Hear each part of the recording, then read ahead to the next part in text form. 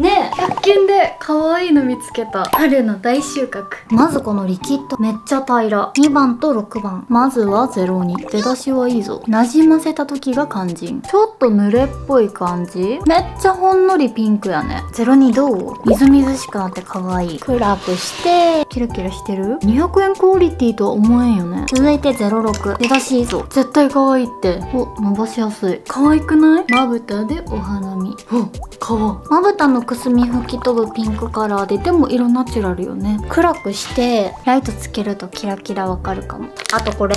うわ。商品名がすごい魔界に吸い込まれてこれ涙袋アイシャドウスティックなんやって。めっちゃ光に反射する。待ってこれ間違いなく可愛い予感しかせんちゃけど。え？え待ってめっちゃ可愛い神アイテム。神すぎん？この作用。鼻先とかどうです？可愛いハイライト的な使い方もいける。頬とか。あれ？想像以上に盛れる。買うしか